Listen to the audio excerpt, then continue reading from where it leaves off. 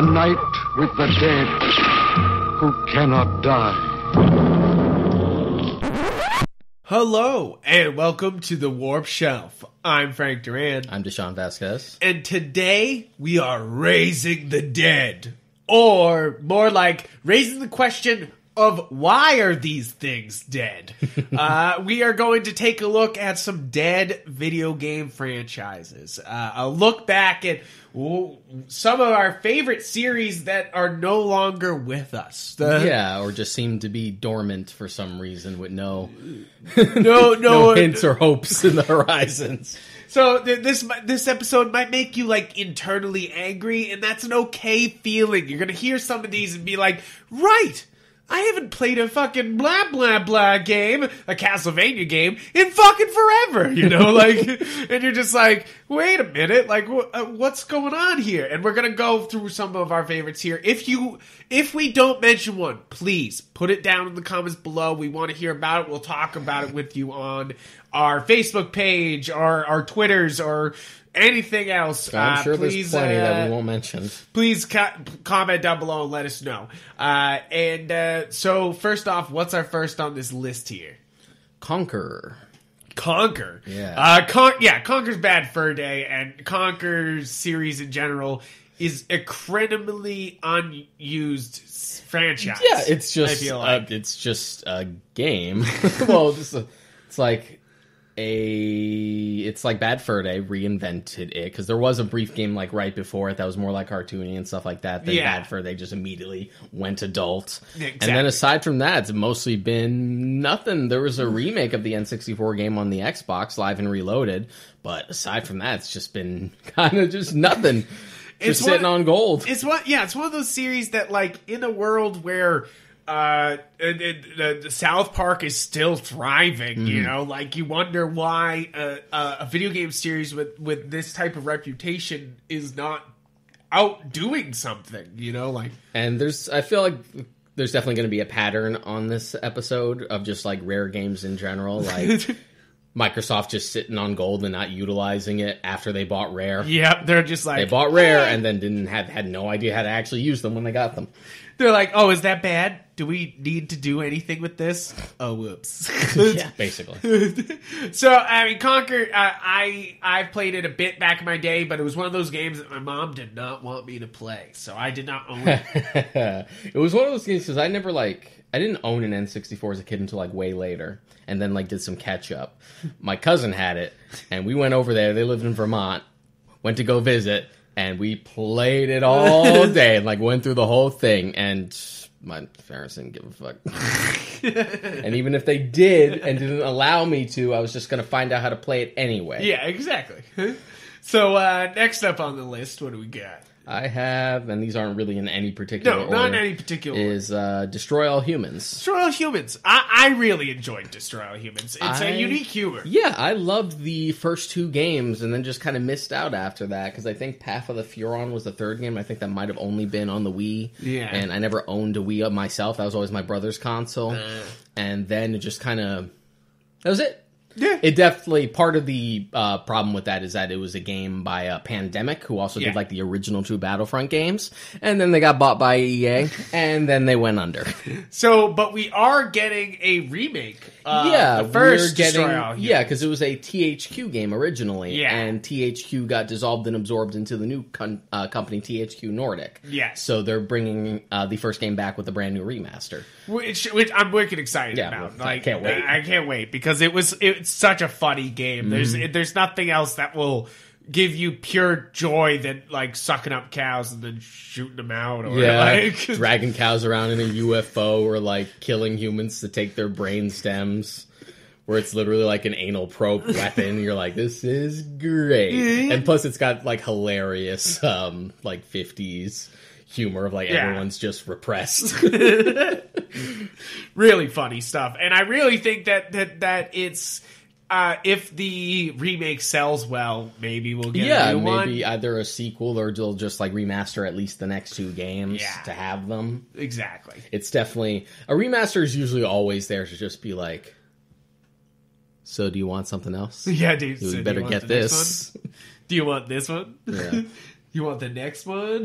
Pay money. Pay me money. Pay me money. Let's see if this franchise is really dead or not. Yeah. So let's say, and that's say- especially too with, true with the studio THQ Nordic. Yeah. Is that the problem with their they have all these great licenses, but they also have to contend that they're not a giant studio. So if something doesn't go well, they're not going to keep doing it. You Mm-hmm. Yeah. know, like and they're just kind of walk away. Like like T- like I like a lot of their games, but I always point to Titan Quest. They had Titan Quest on Mm-hmm. on Switch, and it's terrible and it's still broken. And like it's one of those things that they just didn't make enough money off it, so they were kind of like, you know, like it's broken, whatever. So I would away. say that Destroy All Humans is not dead, but on life support. yes, not dead on life support. Yeah, Yeah. yeah, exactly. So what's next on the list? Uh, this one's near and dear to my heart is Fable. Oh yeah, I, Oh, I man. also love Fable, but more importantly, Fable Two. I was a huge Fable Two. The first two games. Yeah. Loved Fable 1, adored Fable 2, did not like Fable 3 at all. Fable 3 was a broken mess. It was one of those games that my brother played a lot, and it it made me and my dad laugh just watching the game because it was so ridiculous. Yeah. all the time. You know, like it was just like, oh look what Oh I can man, uh, Fable 2, I put so many hours into that game. I had like, f- I did like five different playthroughs because I want to do this time. I want to go this path. I'm going to do this path. I'm going to have like 12 kids. It's like, I'm going to try to collect all the STDs because you can literally go to like brothels and contract STDs and it shows up on your stats. Yeah, you're like, how many STDs you have. It's Just like, let's reach for 20. Just ridiculous. It's ridiculous, and uh, they've had so it's it's one of those games that they obviously are interested in keep going because I know there was a tactics game that they came out with there- sort there was- recently. Yeah, and there was also like an MMO that they were trying to do that went under. But I think Yeah. the big problem is is that Lionhead, the studio that made them, is just gone now. It's been, Yeah. yeah, it's out. it's out, so it's kind of like ah, like so, So, who it's- even knows at this point? Yeah, exactly. So it's one of those game series that I don't Like, know if I we'll got- ever get more. It's kind of like Payday Heist with Starbreeze. You know, I it's kind of like we'll never get Payday 3 Mm-hmm. because we'll never. I, that shouldn't be on this list because Payday Two is it. Well, I mean, I like Payday Two, but Mm-hmm. like most people do not. But like, but I would love a. Uh, uh, and that's a series we'll never see again because the ser- the the company has been. Uh, uh, not only uh, folded and under, but they were arrested. Like a lot of the CEOs were arrested for like bank stuff, and uh, Whoops. and yeah, you can look it up. You know, and, given- and yeah, the content of Payday, yeah. that's very ironic. Really? You're like, that's hilarious. but they, yeah, you could. It's one of those things where we're probably never gonna get another Mm. one. It's kind and and that kind of leads right into another series that a company has gone bankrupt and we'll probably never see again. Is the Telltale series? I feel Yeah, like um, we're getting the end of it, but it's like this is something we're literally watching a series die in real time. And Like- they're also, but they're also slowly crawling their way back up. Yeah, a little because bit, but- with Walking Dead, that just went to Robert Kirkman's uh, company. Like he owns the rights to Walking Dead, so he's just like, you know what, my company will finish it. Yeah. But but The Wolf Among Us two is still coming. really. Yeah, that was actually a big surprise at the Game Awards that they showed another trailer for. It's like it's still coming. I'm like, well, I hope so because I love the first Wolf Among Us. It got me into reading all the fables. So hopefully, and it still says like a Telltale game series. So I'm like, okay, so I guess you and the ten staff that you have left are just finishing it up for us. What's going on? what's going on out there. Yeah, it's kind of like one of those things where it's just like companies once they go under, it's kind of like what what happens, you mm-hmm. know? Like, and it's it's it, Telltale's an interesting one to like watch in real time because it's it's literally a game series just being like put out of its misery slowly Yeah. in front of us, and you're like, oh my god, like, Uh, I think their big problem was that they just kept grabbing too many like big IPs, and they never really like advanced the formula. Like, and that was a big complaint was that the game started to feel like real samey, even though they were still fun. I played a lot of them. Yeah, Wolf but Among if you've was fun. played, but the thing is, if you have repeat fans coming back because Telltale game and then it's the same game but Yeah. with a different reskin, you're kind of like, and there was also one of those things where like the older games tended to be a little longer too, and the new games got a little shorter because Yeah. you could tell they were pumped out a lot faster. So it was all sort of, sort of just like it was all going to come to a head at some Yeah, point. Yeah, exactly. It's too bad. Their um, I think their next big IP was actually going to be a Stranger Things game. Oh, you yeah, can actually nice. find like um, like unfinished footage of like what it was going to look like. It's like, damn, that would have been a real good fit for them. yeah. But uh well.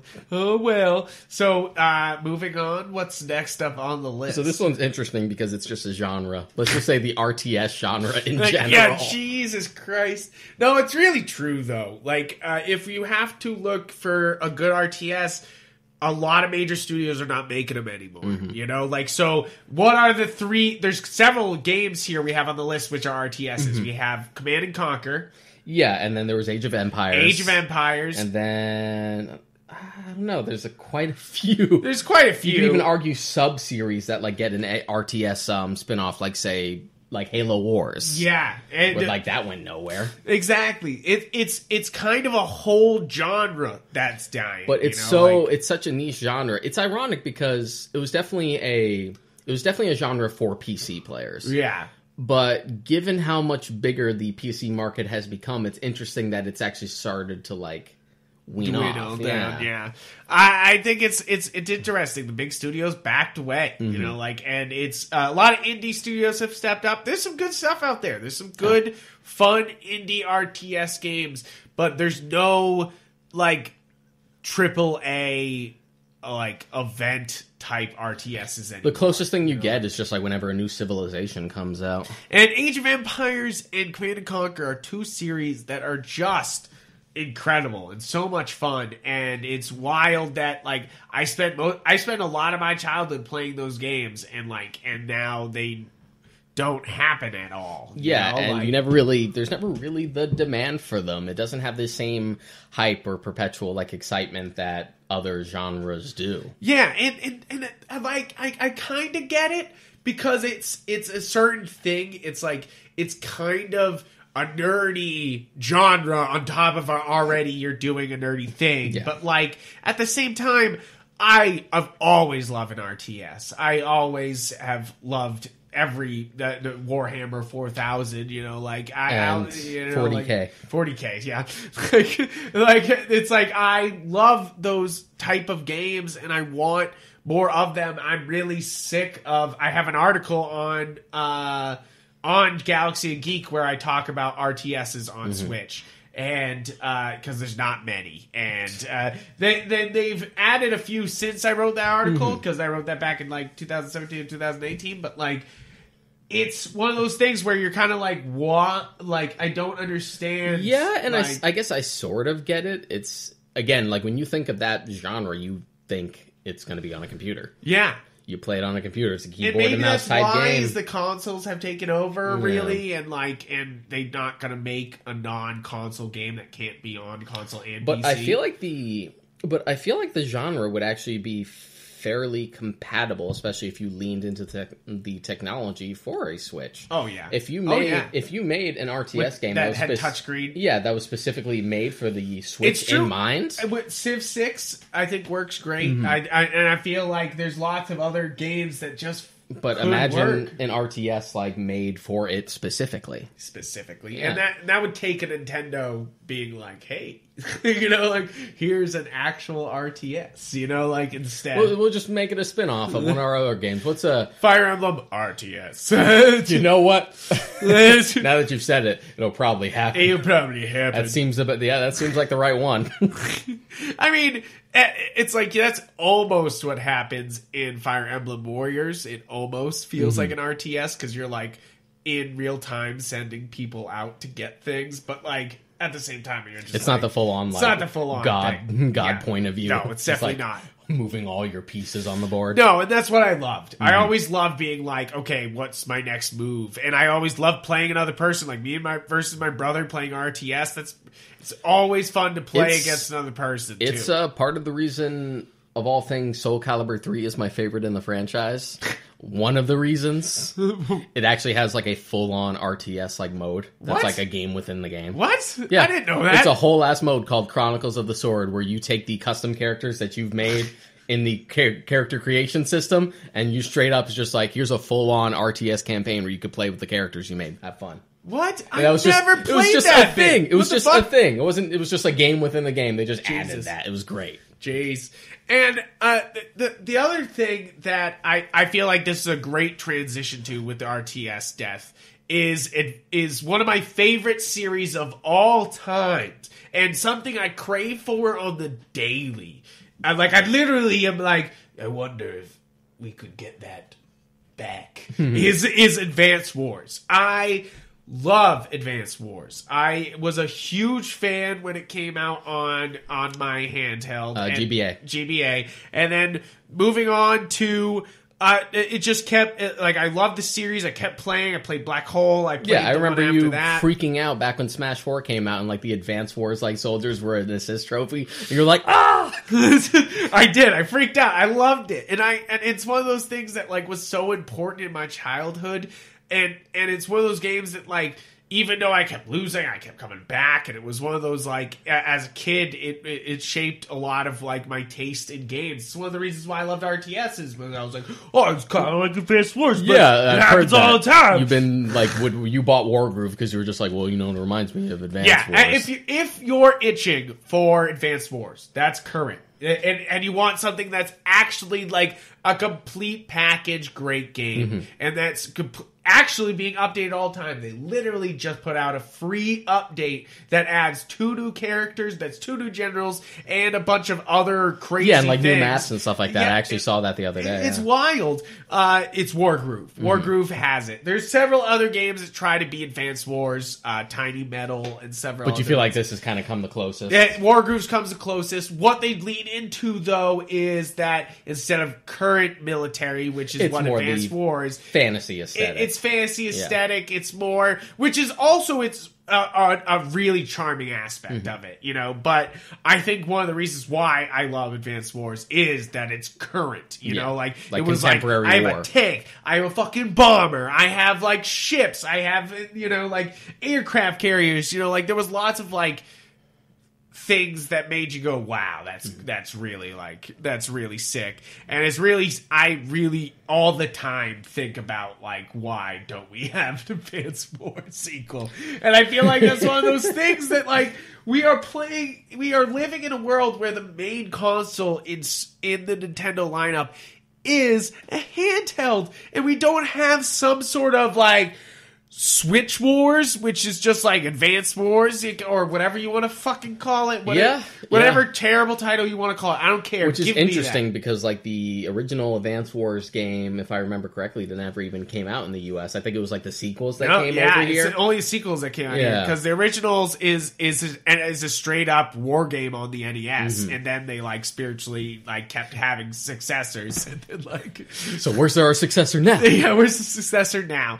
Is we got all we have is War Groove, but like Advanced Wars, it's it was about the characters. Mm-hmm. Like it really is. I really enjoyed the characters there. Uh, I think that's what something that War Groove does well too, uh, and why it stands out above the other ones is they finally were like, oh right, this is the other reason why they liked it, not just the gameplay, but Yeah. that you were like, hey, that character's cool. I want to be him. What's his ability? Sick. You Mm-hmm. know, like, and that's that it's it's the reason why I kept coming back to that game is that like you love those characters and the reason why you went to the sequels because you like those Mm-hmm. characters you know and they kept it up and I wonder if they'll if they do a sequel if they'll stay with those characters or if they'll just be like I imagine "Ah, it's been so far out since the Game Boy Advance that it doesn't matter you yeah, know like it'd probably be like some sort of soft reboot of the franchise or something. Exactly. But I, I, I feel like now is the time. Like I in a year where they they uh, there's going to be lots of Switch announce uh, not only announcements but like Switch releases this Uh-huh. year. It's a crazy year for games in 2020, but like this we need it. We we need it. give me my give me my game. Give me my game. This this whole episode is just about being like, hey, please give me Advanced Wars. Bring it back, I want it. Bring it. it back. I want it. What do we have next? Uh, Silent Hill. Silent Hills. This is a sad one. This is a real sad one because, oh man. So the original, the first two Silent Hill games are fantastic, and for the most part, aside from you know some PS1 jank, they hold up relatively well. Like Yes. they're master classes in like horror storytelling. And it was a very different like it was a great contrast to something like Resident Evil, like a very different type of horror. Exactly. And the third one, while not great, was still solid for what it was. The problem is it felt too much like two and sort of undermined two with a lot Yeah. of its like inclusions, like the Pyramid Head. Yeah. Everyone loves the Pyramid Head. Everyone That's- loves when Pyramid they Head. of Everyone loves Silent Pyramid Hill, Head. think of Pyramid Head. The problem with Everyone goes to the con. They're like, "Hey, it's Pyramid Head." yeah, the- Everyone loves Pyramid. The problem with the Pyramid Head is it was specific to Silent Hill 2. That was a Yeah. part of that character's psyche, but then that the Pyramid Head became too iconic for its own good. yeah, so it just was in kind of became it was in like it just became like a regular thing, even though that was supposed to be just part of his psyche. It was a symbolic yeah. thing. But and then the issue was every Silent Hill after three was just Yeah. And, well, hold on. So there was some on PSP. Which ones were on PSP? Where did they remake two on PSP? I know that like um like at least one and two might have gotten ported. because I played the only Silent Hills I ever played was on PSP, Mm-hmm. and it scared the ever living shit out of me when I played it on PSP because you're sitting in the dark in the night and it's real close to your fucking face, and you're just like. Oh God! it's, it's a nurse, and it's coming at me. Like, And then the franchise was just kind of like getting worse and worse Yeah. and worse. And then we finally get a glimmer of hope with PT. Yeah. Such like an immersive, creepy fever trip of a demo that was just a taste. And it's like, Just okay, secret demo. It's for actually for Silent Hills. It's like, ah, you aliens did. That's cute. yeah. This looks like it's gonna be great. Kojima's working on this son of a bitch. Oh, Guillermo del. Toro is what? That sounds great. This is gonna be nuts. this is gonna be good. and he's gone. he's gone. That's where the timeline went wrong, guys. Yeah. is, is it is when uh, Is that like the is that moment? That's the everyone point. thinks it was Trump being elected. It wasn't. It was that. It, was, was- that moment. That was the focal point It was time. a focal point in time. Is when all of a sudden PT not being actually made into a full game, being And- is a oh crime man, against and humanity. that that became like a whole like domino effect for Konami. Yeah. because it was because of that. Then that affected MGS5 not being really as complete as it could have been, Nope. and like Kojima fought having a huge falling out with them and them leaving. So, ugh, what are you doing, Konami? and then they just keep digging that dead grave with Mm-hmm. Metal Gear. Too busy doing pachinko machines and Metal Gear spin-offs no one wants.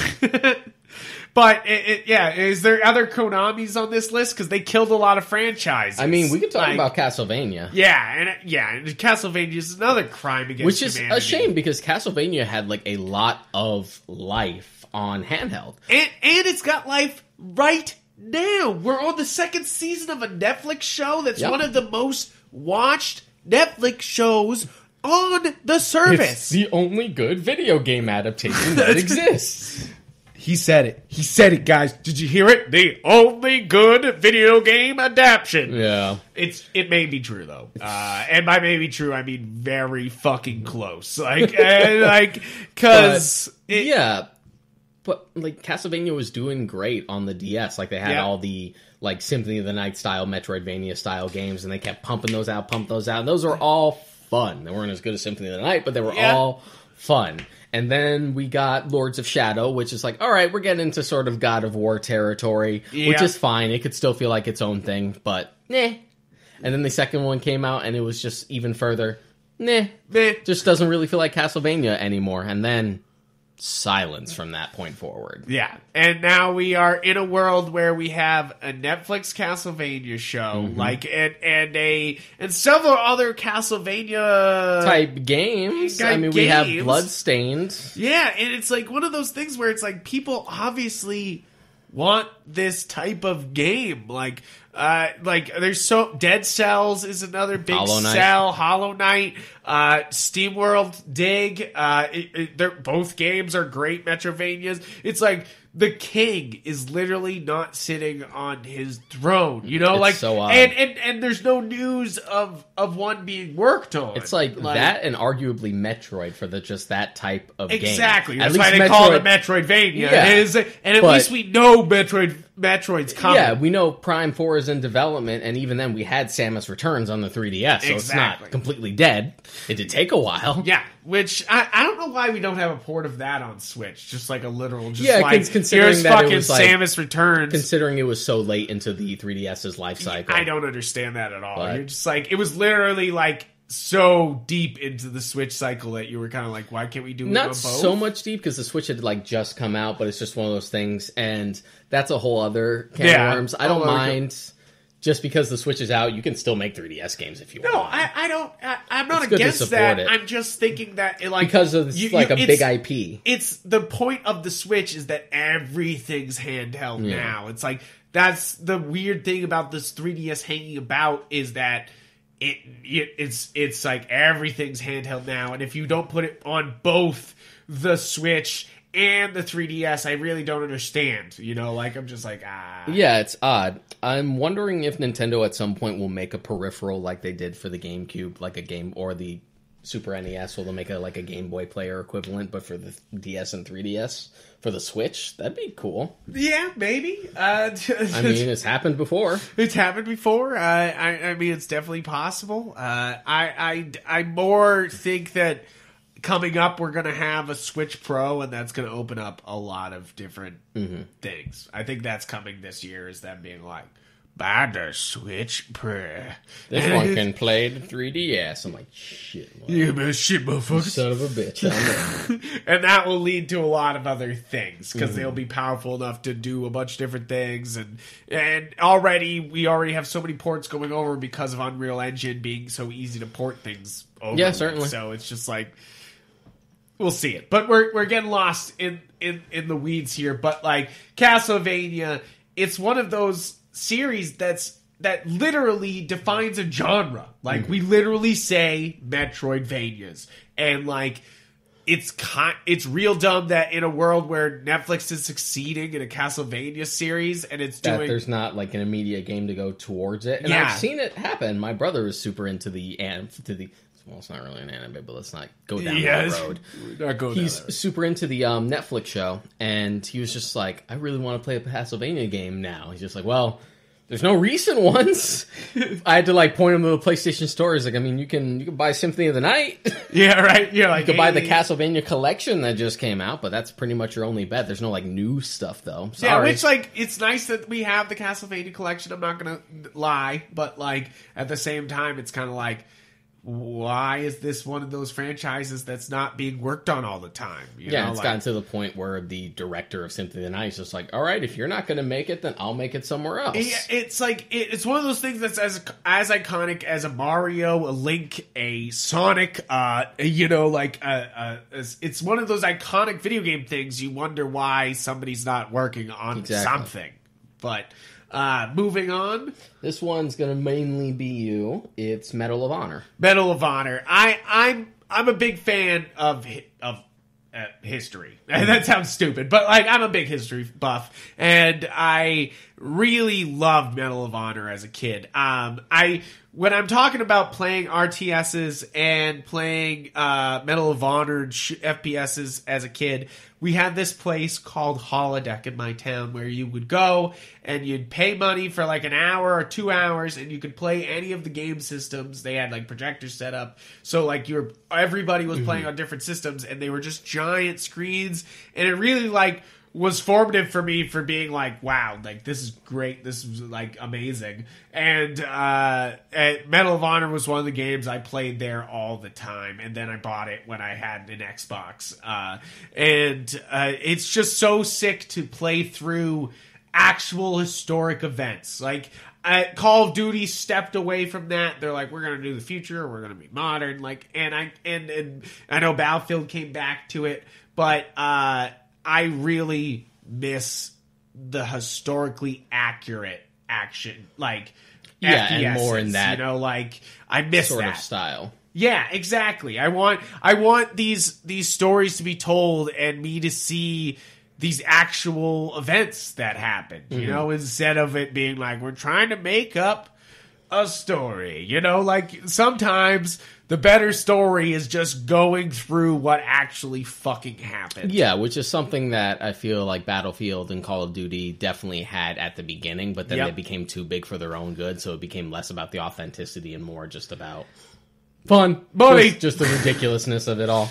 fun and money. Yeah. and and I'm nothing against them, but uh, fun and money. And and uh, Medal of Honor, I would I would re- like a like Medal of Honor resurgence that is super accurate, super beautiful, like like Yeah, they tried to bring it back last gen with the uh, 360 and PS3, but it didn't work out. Yeah. like no one really liked it. And, and and and it still might be that's the case is that we'll never see a Medal of Honor again because there is that many FPSs now, and you got to kind of shine in a market. That's that's so hard to shine. There's uh like first person shooters are a dime a dozen. And when Battlefield One wasn't the bigger hit that it could have been, Mm-hmm. you know, like it, I mean, it was a hit, but it was it wasn't like bang busters. Like you know, like you you kind of wonder about the the casual fans want for historical accuracy over the ridiculousness of a bigger, faster gun. You Yeah. know, like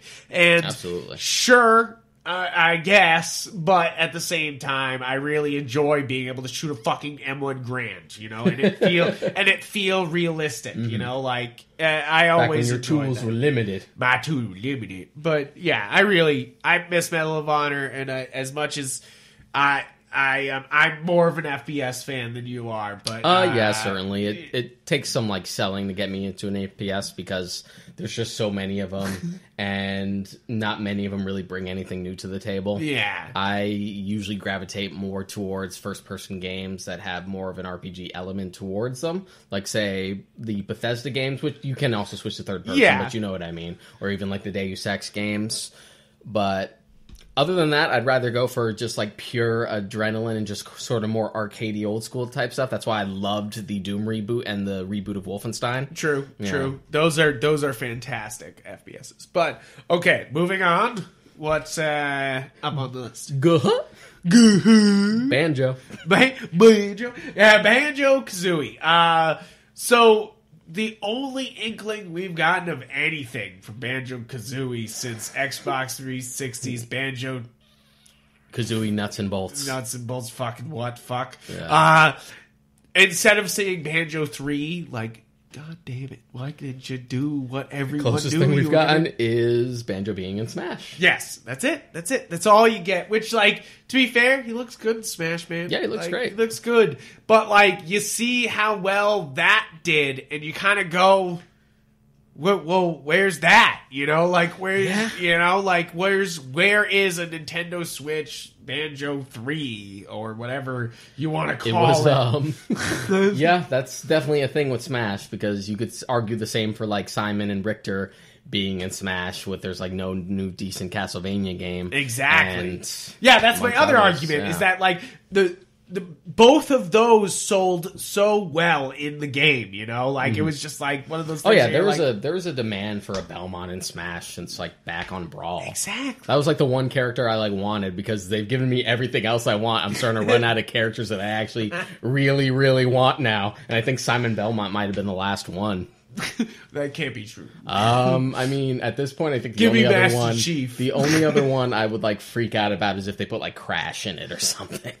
That would be cool. I would I would like Crash. That would totally work. Spyro would also work. Yeah, but it would be Crash.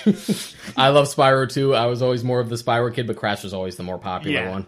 Now, would you qualify Crash as a dead series, dead franchise? Because That's an interesting- because we got the remaster. Yeah, we got the and we remaster. just got the remaster of the cart games too. Yeah, I would say um, maybe more than life support. I think there's hope And I think for it's, it. it's been shot in the leg and, And- it's walking, but it's not like doing so well. Yeah, and the interesting thing about the remaster, especially on Crash's end for the N. Sane trilogy, is that they added um, their own original stage so for yeah, as DLC. That's so that's cool. definitely like Activision being testing the waters, being like maybe we could do this. yeah, we could do another. Like everyone, you guys love this, and we made it. We polished it up for you. Let's see if we could do our own original stages, and they were good. So it's just like maybe we'll make a new game. Maybe. Maybe. they're very like cautious about it. Now, would you qualify Spyro as a dead series? Because of course we got Ignited trilogy. Oh, man. but there's I would uh, say yes because Spyro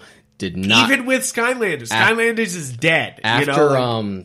I mean, Spyro was dead to me after the PS One. Yes. I mean yeah. after that, like it was just a shit show from that point on. Enter the Dragonfly was a broken mess that was never finished. Like a Hero's Tale was sort of a soft, soft reboot that no one wanted, and then the Legend of Spyro was like a hard reboot that really no one wanted.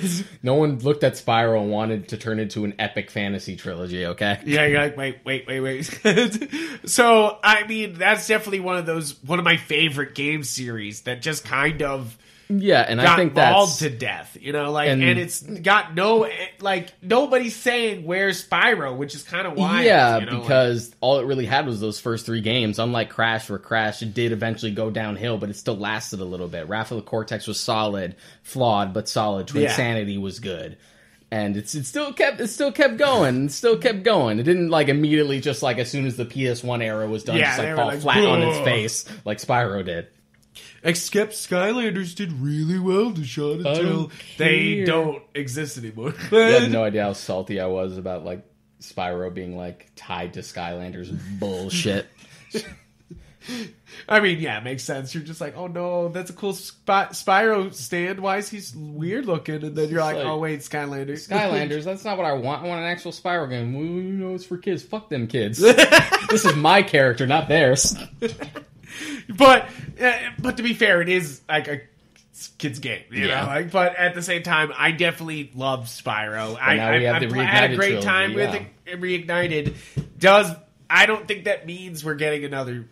Spyro. Yeah, I would doubt it. I that's not what I got the impression of. Crash seems reignited. Yeah, Crash seems far more likely. because you said there's a new level. There's nothing new in Mm-hmm. Ignited. Like I like the the Reignited series, but there's nothing they changed. There's not other than like Yeah, other bringing than like mechanics from yeah, two to one. like one, cleaning up the mechanics and like making it a little smoother to play.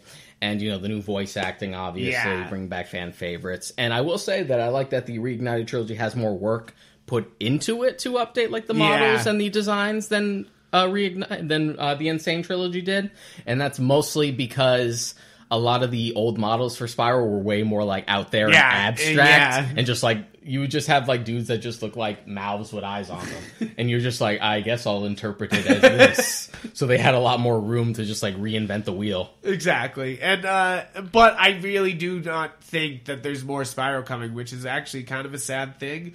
But I feel like it takes a small good team to pull out a Sonic Mania for something like that. That's what they would need is Mm-hmm. A Spyro Mania. You know, I'm I'm, I'm meaning that. as Yeah, I like know what you mean. You you know what I mean. I hope people know what I mean. Is that they need that like somebody going back to basics to win this back. You know, like so. What's that next up on the list? What I got here? Mega Man. Mega Man. Mega Man. So this is a lot of series that are not going anywhere when you're talking Mega Man. you well, know? I guess sort of. except for Mega Man 11, we got Mega yeah, Man we got 11. Mega Man 11. It's got good. Mega Man 11, It's so, good. like- Thank God. It's Yeah. good. But so when we're talking Mega Man, we're talking X has not had a series. Pretty much any of Mega Man's like sub series are like dead in are the water. dead. We got X Battle Network, which is the only one I'll talk about, and Because it's the only one uh, he knows about. and uh, Legends. Legends. Uh, and so yes, so I have never played those other ones. I'm not actually a huge Mega Man fan when it comes to any other game except for Battle Network. Mm-hmm. Believe that? No, I have like two other people I know who are like this too, and I want to strangle them too. Like, all I care about is Battle Networks. It's like, yeah, that's fine. I like Battle Network too. I played like three versions in a row, had a lot of fun with it. But there's more. This franchise is more than just Battle Network. God damn it. Yeah, but I'm not a platform lover. So and and uh, and Mega Man prides itself on being like, "Oh, you like the platform? Fuck you! Jump and shoot. jump and shoot, man!"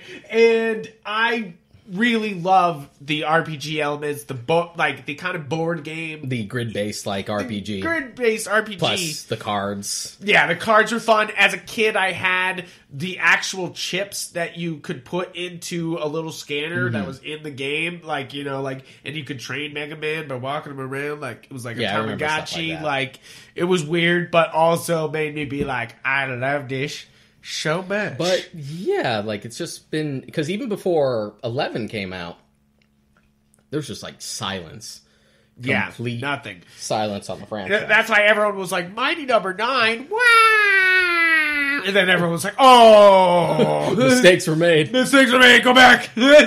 and uh, yeah, that's pretty much Uh, that's why Mega Man 11 was such a like. Yeah, I guess Mega it's Man- a godsend. Yeah, know, like- Mega Man 11 was good. I think it's uh, certainly more creative than 10 or 11, or rather 9 and 10 were. Like 9 was cute because it went back to the 8-bit style. Yeah. But that was something you should have only done once. The fact that 10 did it too was like, okay, guys. like calm down. Now, uh, now, would you want a Z sequel or a Legend sequel more? You mean an X? An X. Sorry, I said Z, but uh, I Um, meant the Z from X. I would I say said- Legends because Legends only had like two games and a spin-off. Okay. And I feel like it could really use like a third modern game. Whereas while the X series is like my favorite version of Mega Man, it had eight games and a spin-off. yeah. And like I don't really need one. Whereas I feel like there's sort of untapped potential in making another Legends game. Yeah, I I I, uh, I feel like there's it's one of those things that's super weird that the, he- this is an iconic character. One of those things that you kind of know will sell. So it's kind of wild we don't have a bunch of spin-offs But from hey, the from main there. series got another entry and it was good. So I mean that's a start. It's a start, but I I don't know about all the other side series that go with it. You're kind of like what? And then speaking of in a similar vein to like Banjo or the Belmonts in Smash, you got Mega Man in Smash 4 Yeah. at a time when there was nothing for Mega Nothing. Man. And it was so sad. It was just like, wow, look at how Nintendo treats our boy more so than Capcom. yeah, All this like attention what? to detail and love and just that final Smash in general with all the versions of Mega Man doing that Yeah. super beam. You're like, ah, the love and respect that they have for him. It's true. It's true, and it's sad because it's just an, it's it, Mega Man's a classic, and you're kind of like, what? Why? And especially in a world where people literally go to concerts to hear Mega Man music. You Mm-hmm. know, like you go to VGO where you go to see like 8 Bit Big Band or Yeah. somebody else who like. uh There's so many bands who do like Mega Man music, and you're just kind of like, what? What? Like- Iconic. So why isn't it getting the respect it deserves? But again, at least it's not completely dead in the water because Yes. we did just have a recent So game. so this is definitely one that's like missing a limb. Let's say it's like if we're if we're equating these series to being dead, like this one's like missing an arm. Uh, and a leg, so it's in a wheelchair. Like you would say, Mega Man is just kind of it's, it's functioning. it's functioning. It can do things, but it's missing like literally one side of its body. Yeah. Like, and uh, it, it's kind of sad to see. Uh, but uh, what's is there anything else on the list? This, oh got? yeah, there's more on the list. Okay, good. We got uh one that's near and dear to my heart is uh Ape Escape. Oh yeah, Ape Escape. Definitely, I I have played this game, but it's definitely one of those games that I just loved because it was super cute and had a good time. Ape Escape one is one of my favorite like platformers. Period. nice. And two and three are good. I don't think they ever really came to the same like level of quality that the first game did. Just that same polish. But they were always fun. But then they made like three. They only made like three games and like a couple spin-offs, and then that was kind of it. Even Yeah. though they were huge in Japan. yeah, And even last last year was the first game's 20th anniversary. And the company that made them even made like a big thing about it. It's just like, ah, share your Ape Escape memories. It's just like, yeah, but where's another fucking game? what are you guys doing over there? It's You know, like, what are you guys doing over here? It just makes it worse that you're like celebrating the 20th anniversary, but you have nothing to show for it. I'll even just take a remaster of the first game. Just give me something. Which I I'm surprised we haven't had an Ape Escape on Switch. It feels like an Ape Escape would fit, especially in a world where we get um what's the HD Banana Blitz? Uh He's talking about uh, Super Monkey Ball. Super Monkey Ball. In a world where we get Super Monkey Ball, like, you know, like where's my Ape Escape? Yeah, You know, like I don't know if it would actually because I don't know if like Sony owns that. Yeah, I franchise, think 'cause Sony it tends might to own it. only be on Sony Sony consoles. I mean, that was the game. That was the first game on PS1 that was required for you to have a Dual Shock with two Yeah. analogs on it. I remember that. Yeah. I had the controllers before the analogs and remember having to get them. Like, what the fuck? Not knowing how important the analogs would be from that point forward Yeah. and never going back. Exactly. So uh, I, I mean, it's it's it's it's a shame it, that, that this Ape Escape is just gone and dead because it's something that I feel like in a world where this we love these cute things. I don't know why. Yeah, I have. I've known people who I've recommended Ape Escape who like platformers, but that was one that they missed out on. Where I tell them to play it, they get their hands on it, and they're just like, "Dude, this is one of the best platformers I've ever played. This is so mm. satisfying and just fun to play to catch Yeah. these stupid little monkeys. it's so addicting. Why haven't they made a, a new one?" Yeah, it's dumb. No, moving on. This uh, Golden Sun. Golden Sun. Now this this is like one of those ones where you're just like every time they made a game, you kind of felt like they were trying to sink it at the same time as really supporting it. You know, yeah, like, and because it's there's only been three games. Both the first two were on the GBA, and then Dark Dawn was on the DS. yeah. And they've And always you will remember this game as the game that had a, a a literal giant pack on the back, so that way it could detect if it was light or dark outside. different game. Different game. Different game. No. Different game. What? Yeah. I know what game you're talking about because I used to have it, but it wasn't Golden No, Sun. it wasn't Yeah. Golden Sun. Sorry, my bad. No, it's fine. I I think I've actually heard people mix that up before because you know Golden Sun. Yeah, Golden Sun. Okay. But um, either way, great video game franchise, huge in Japan. Yep. Why hasn't it gotten like more of a resurgence? Like Isaac from Golden Sun is an assist trophy in Smash.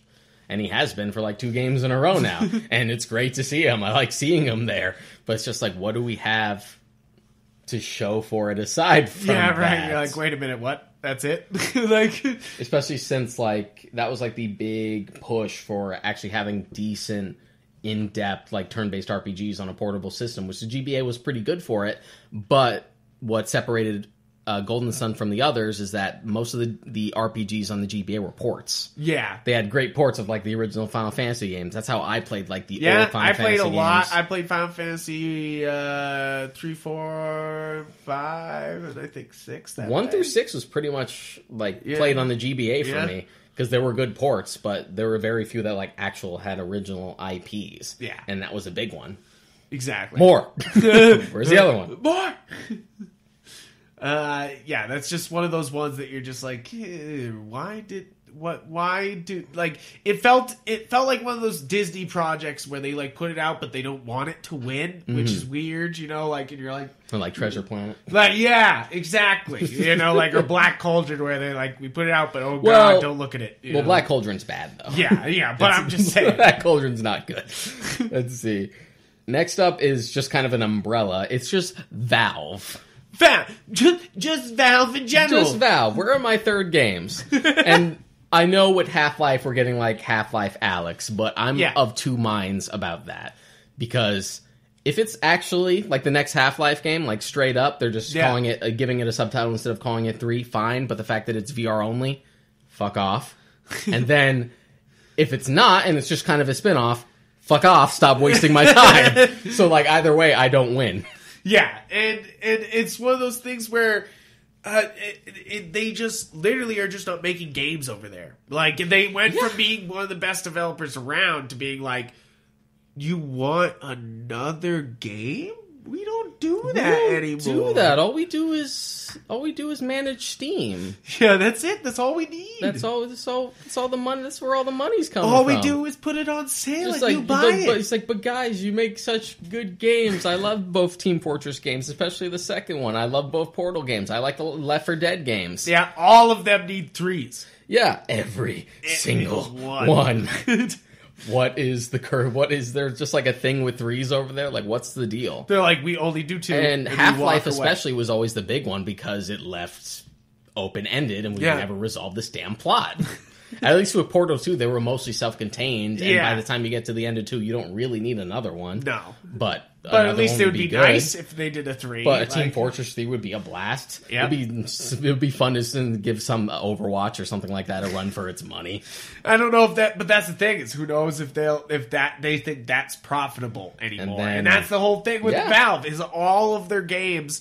As much as we all love them, in their eyes, they're like, is it profitable to try to develop these games? You know, I mean, that's like, true, but the longer you made them, the longer you wait on it, the worse it gets. Yeah, exactly. And so we can hope that uh, Half Life Alyx is three, but Uh, like you said, it's a little bit classist if it's only on VR. It's only on VR. I'm not getting a VR system. Yeah, just I'm not getting a fucking VR system. Uh, uh, and uh, you know, we'll see. You know, like, but it, it it's it's just sad because it's a mm-hmm. whole company that's sitting on some of the best video game IPs out there, and they just sit on them. Like, we got Portal Bridge Constructor. That's the latest Portal game. Yeah, yeah, and that's it's not even so much like a Portal game. It's more, it's sort of like a collaboration, like Cadence of Hyrule. Yeah, is. right, Like yeah. one of those, Exactly. and that's cool.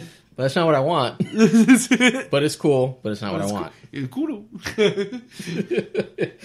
So the next one, I believe, I think these next three are going to be these last three are going to be like near to and dear to my heart. Just me, all about me.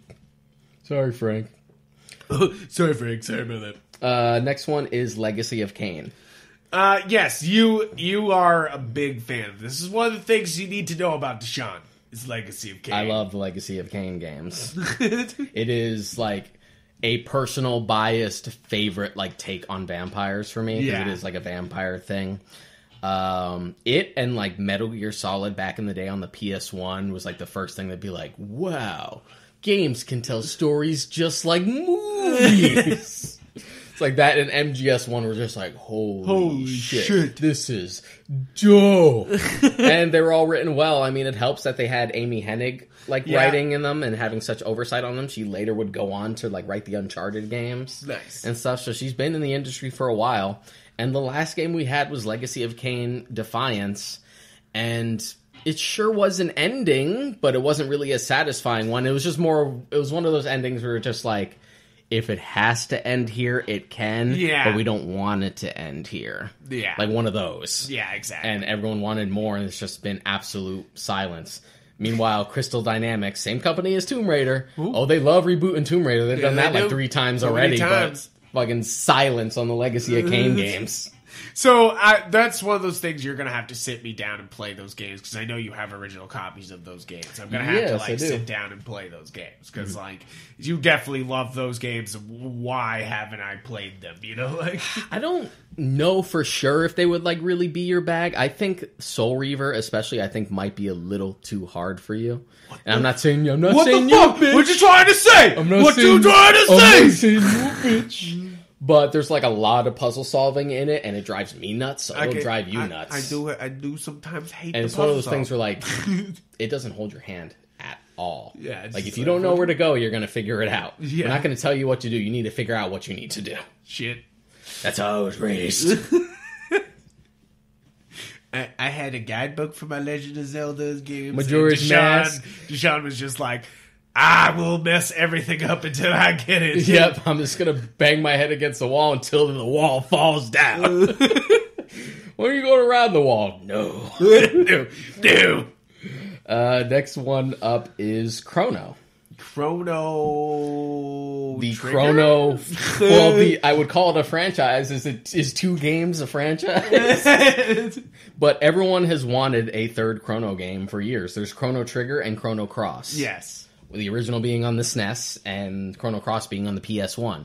Both great games, both very different games. This is one of those games that I know as a gamer I'm missing out by having never played this series. I have no nostalgic attachment to Chrono Trigger because I actually never played it until we were in college. Really? I Nice. emulated it on my PC because I didn't have anything to play it on. I have the DS version Yeah. now, but it was one of those like essential RPGs because I'm such a big RPG fan that you have to play. And having no nostalgic attachment for it and playing it for the first time is just like this is literally one of the best RPGs I've ever played. nice. It's so good. Okay. And plus- you're gonna have to dive in. Much like Dragon Quest, Akira Toriyama does the character design. So if you're big into Dragon Ball, you're just pretty like, great. sick. is sick. And uh, yeah, that's that's one of those ones that I feel everybody I've ever heard who's played the games has been like, why is there not more of these? You know, Yeah, like, they- and like, everybody the, um, I've ever talked. And then another problem is like just availability as far as ports are concerned. Yeah. For Chrono Cross, you can only get it on PS1, so you're either buying a PS1 copy or you're getting it off the PlayStation Store for PS3 off like a PS1 Classic. Yeah, And then for uh, Trigger, there was the SNES version and the DS version. Every other version of the game is garbage. Yeah, because I thought they had it on phone, and I thought there was a Switch. They version. had the um no not Switch sure. yet. They had it on mobile, and Yeah, it was they had it mobile. really bad. Yeah. Then they put it on Steam, which Yeah. was just the mobile port. Yeah. So bad. Yeah, And then that's been it. And because the SNES Classic never put it on there either, there's Uh. not really a the last good port of the game is on the fucking DS. That's wild. and I mean, I have it, but I'm not going to tell you you need to get a DS specifically to play this game. so availability is also an issue. Yeah.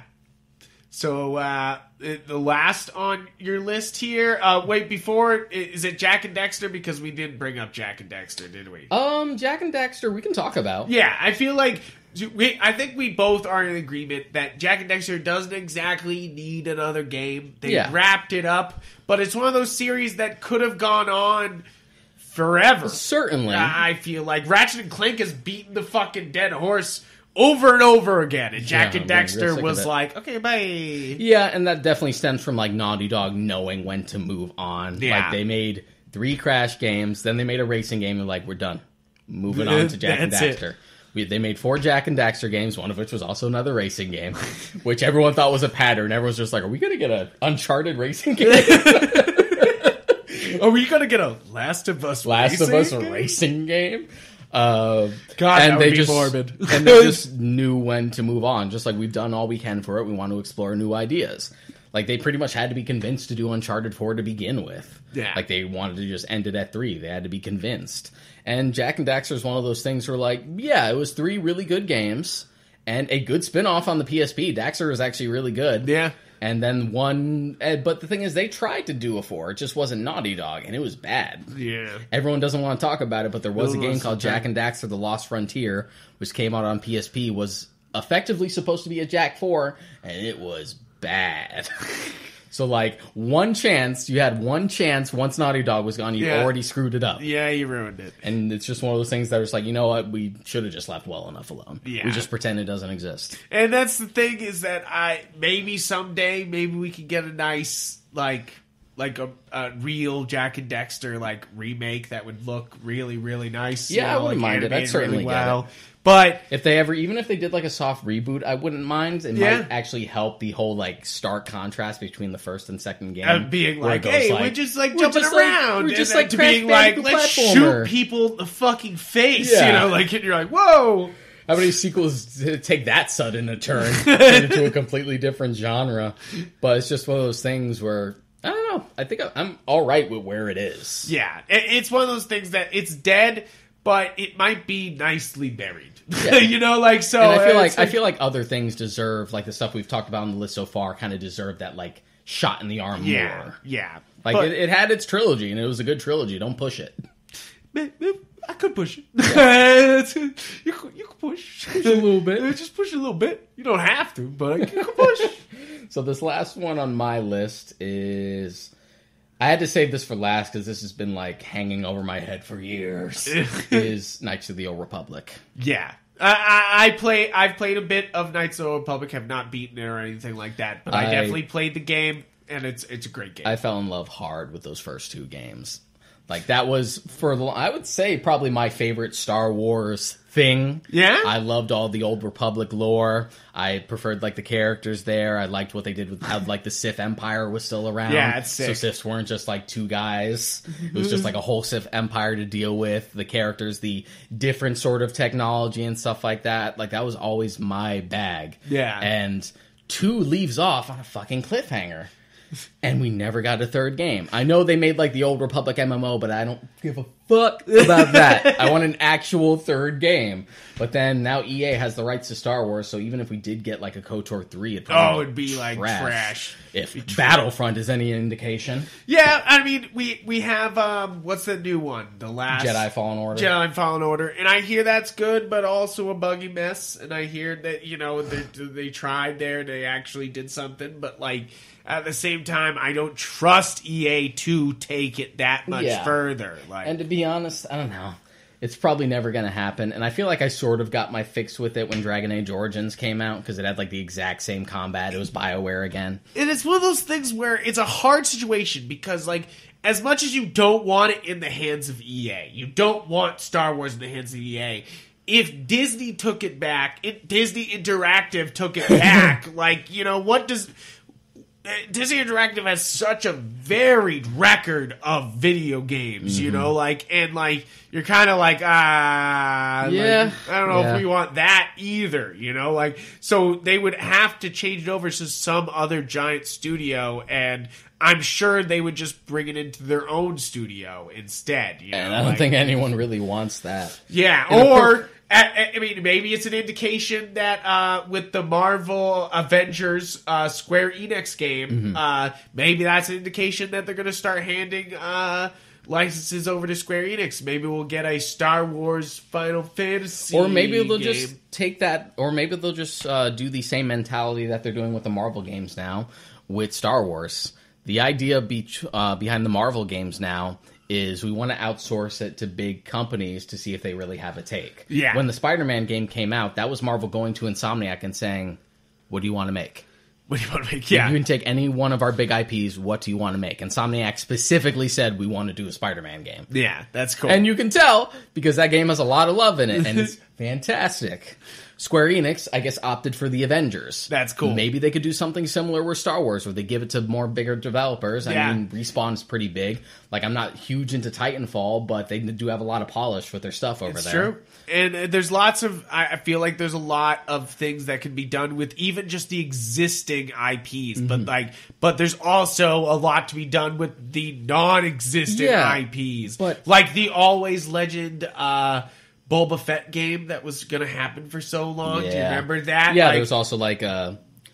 There was also a like. they, there was, it was a there was a gonna rumor it was called uh Dar- it was called uh uh, Star Wars Coruscant or something like that. You went like deep, deep down into Coruscant because there's many levels and it's all dirty, and lots of the grindy side Star but- Wars stuff like that. and, and I think they maybe took all those ideas and were like, "You want But it's one of those things where like it's almost surprising that we haven't just gotten anything yet because EA has BioWare, Yeah. EA has Star Wars. Yep. BioWare made the first, KOTOR game. Obsidian made the second one. Obsidian's busy with Outer Worlds right now, which I hear is really good. I'll get it at some point when it gets cheaper. Yeah, here it's fun. Uh, I'm excited for the Switch port of Outer Yeah. Worlds. Uh, but uh, the, the the yeah, with Knights of the Old Republic, it's kind of one of those things where you you're like, this is obviously a giant cash cow. Yeah, Like, and it was know, the like- it was the game that got me into more like Western style RPGs because before that I was primarily like Japanese RPGs. Yeah. and just like the different sort of style. It's almost like a completely different genre Yeah, it is. and just the idea of like the absolute freedom. What do you want to do? Do you want to be more blasty blasty? do you want to be a Jedi or a Sith? Yeah. he's like, but if you go to the dark side, you get all the cool powers. It's like you get to pick the color of your lightsaber, get to pick your character's appearance, just the freedom. Just let me have my Star Wars OCs, but not in the MMO because I don't care about MMOs. Yeah. I see what you mean. Yeah. Uh, I do like a good MMO, but I see what you mean in like you nothing feels special in an MMO. Exactly. You're like you're like, "Oh, we are all the chosen one. Let's go out and fucking go save the fucking world Let's go do a raid. Together." we are all the chosen ones and together the chosen ones will kill it. Yeah. and you're just like, "Ah, Okay. all right." So I get what you're saying and I would, you know, it would be nice to be like a a kind of like Skyrim, but Knights of the Old Republic type of thing. It's, you know, it's like- annoying. It's it's so annoying. I'm Yep. still I'm still like burned from like not getting KOTOR 3 and Pandemic never getting to finish their Battlefront 3 from back in the day because it was going to be Exactly. gigantic. It was supposed to be designed for PS3 and 360 at the time. be It was going to be much bigger than the original two games. You can still actually find like unfinished footage of it. They were going to add like stuff original to that game. Like they actually one of the developers that worked on the game before it uh, got shelved actually put out concept art that they were going to have Leia as a Jedi as a playable Nice. character, stuff like that. And That's of course, awesome. they had to put that out. yeah, Now. yeah, right. They're like, hey, So it's just like you know, we had ours, and it's just like, oh, it just makes me even sadder.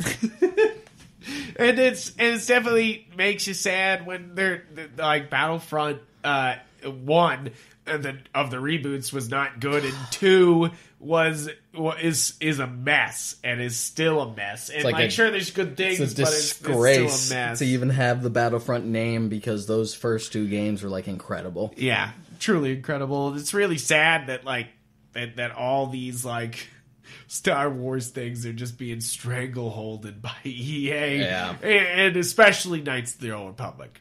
Um, and it's wild. We even got Jedi Outcast like as a remake. That was wild. That like was as a port. like, Like, as a port on the Switch, and I still haven't grabbed that, and I will because that was it's on game sale was- right now for like eight bucks. That game Like, was also wild. the shit back in the day. I'll probably buy it when I get home. it's just it's just wild. Like it's one of those things where you're watching this company just bundle these things, Mm-hmm. you know, just like bungle it, just fucking just drop the ball, fumble all over. I the mean, place. I hope like Fallen Order is the step in the right direction yeah, because I know they realize that I know Disney. actual serious Star Wars. Because I know. Disney was not happy about like the fallout for Star Wars Battlefront 2, and Yeah. I think that might be why EA doesn't have as much as their grubby little hands on Fallen Order, or like shitty business practices, or like microtransactions or garbage. Yeah, like that. right. It's because Disney's like watching over their shoulder, like mm.